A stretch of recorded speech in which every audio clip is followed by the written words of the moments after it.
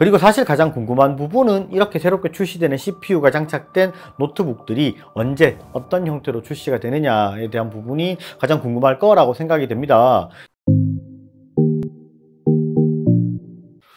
안녕하세요. 진했습니다. IT 기기를 좋아하시는 분들은 연초부터 CES 관련 영상들을 보신다고 늦은 밤까지 조금 힘드셨을 거라고 생각이 됩니다.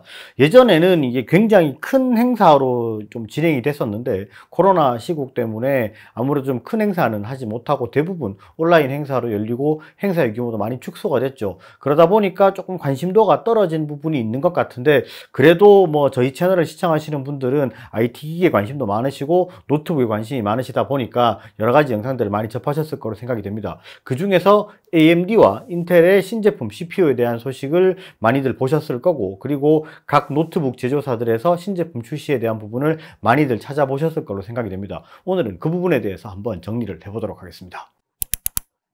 CES 관련 영상 중에서 아마도 가장 빨리 접한 영상은 AMD의 keynote 영상일 것으로 생각이 됩니다. 이번 키노트에서 가장 먼저 이야기한 게 렘브란트 CPU였습니다. R7 6800U를 이전 세대인 5800U와 비교를 하면서 성능의 개선에 대한 이야기를 했고 내장 그래픽이 RDNA2가 적용이 되면서 상당히 성능 개선이 있을 거라는 내용을 주로 다뤘습니다. 그리고 별도로 그래픽카드에 대한 이야기도 했었죠. 노트북용 그래픽카드에 추가되는 라인업들에 대한 이야기 그리고 새롭게 선보인 몇 가지 그래픽카드에 대한 이야기를 하고 데스크탑 CPU인 5800X3D에 대한 이야기를 하면서 인텔 12세대 데스크탑 CPU와 비교를 하면서 높은 성능에 대한 부분을 이야기를 했습니다. 그리고 올해 말쯤 출시하게 될 젠4에 대한 이야기를 하면서 신제품에 대한 기대감을 심어줬었습니다.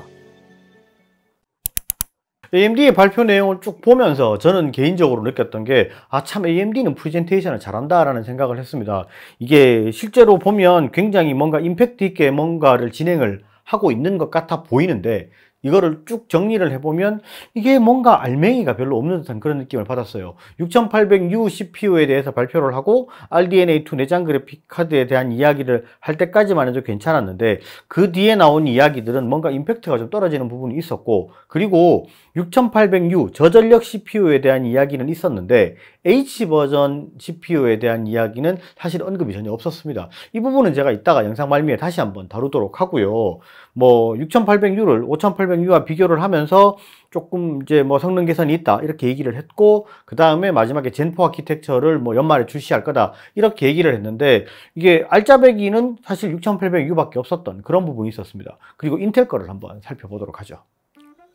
인텔은 12세대 엘더레이크에 대한 이야기와 아크 그래픽 카드에 대한 이야기 그리고 영상의 말미에는 자율주행에 대한 이야기를 주로 했었는데 사실 저는 개인적으로 인텔의 프리젠테이션은 약간 홈쇼핑을 연상케 하는 느낌이어서 조금은 별로였습니다. 새로 출시한 CPU와 그 성능에 집중한다기보다는 각 제조사들이 우리 CPU를 이렇게나 많이 사용을 하고 있다. 우리 편이 많다. 이런 이야기를 하고 있는 것 같아서 프리젠테이션의 구성이 조금 개인적으로는 별로였다고 생각을 합니다. 그런데 내용을 정리해보면 이야기할 부분이 상당히 많습니다.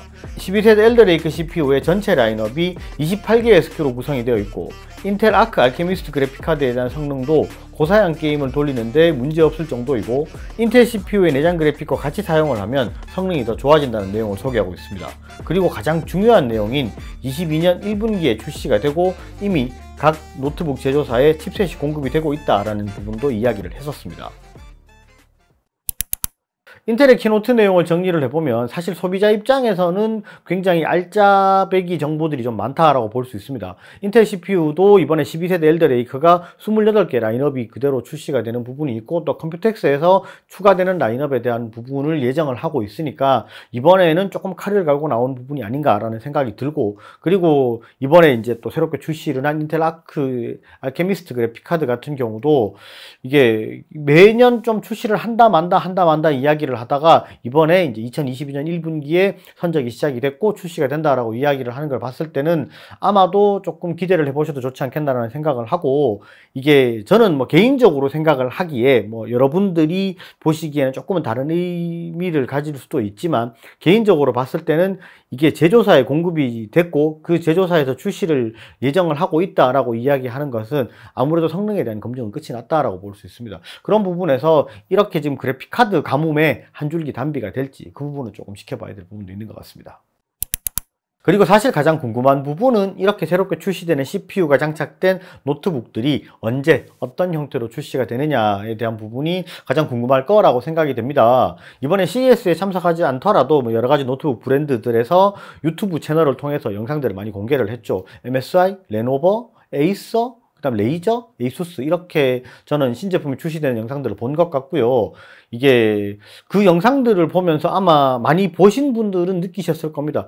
인텔에 대한 영상은 많은데 AMD CPU가 장착된 제품에 대한 영상이 몇 개가 없다라는 느낌을 받으셨을 거예요. 그게 레노버 측에서 나온 그 정보를 바탕으로 얘기를 하자면 실제로 인텔 CPU가 장착된 신제품 노트북들은 2월 런칭 예정을 하고 있습니다. 그런데 AMD CPU가 장착된 노트북들은 주로 4월 launching을 예정을 하고 있습니다. 그게 이번에 AMD keynote에서도 발표해서 약간은 아마 느낌을 받으셨는 분들이 있을 텐데 저전력 U 버전에 대한 소개는 했었는데 H 버전은 사실 소개를 하진 않았어요. 라인업은 공개가 됐지만 keynote에서 다루지 않았다는 것은 아직까지 정확히 launching을 하지 않았다라고 얘기를 해도 되는 부분이라고 사실은 보셔야 돼요. 그래서 그 H 버전 Rembrandt CPU는 아마도 컴퓨텍스에서 공개를 하고 그런 부분을 조금 이제 자세하게 좀 뭐 벤치마킹이나 이런 부분을 공개하지 않을까라고 생각이 됩니다.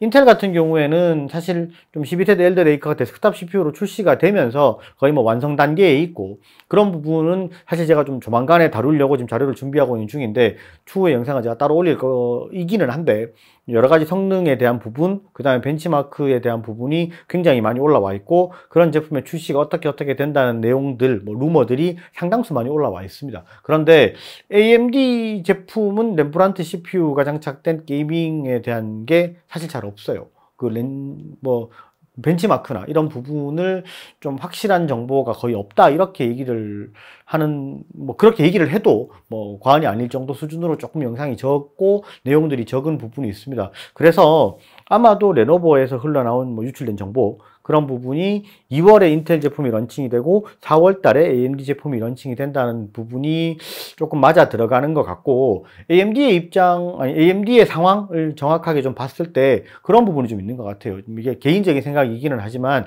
TSMC의 좀 생산 라인업을 생산 라인을 많이 좀 확보를 하지 못한 게 사실이 아닌가라는 생각이 좀 있습니다. 애플에 밀려서 여러 가지 첨단 라인업을 좀 생산하기가 좀 힘들다 이런 이야기들을 하고 있는 게 좀 사실이 아닌가 그리고 이제 예전에는 AMD가 스포트라이트를 굉장히 많이 받았었는데 그런 부분은 조금 이제 인텔로 올해는 조금 돌아가는 부분이 아닌가 이런 생각을 합니다. 이게 실제 제품이 나오면 어떻게 될지는 모르겠지만 그런 부분 자세히 정리를 해서 다음에 영상에 또 다루도록 하겠습니다. 오늘 영상은 여기까지 하고요. 영상이 좋으셨으면 좋아요, 구독 꼭 부탁드리겠습니다. 감사합니다. 지냈었습니다.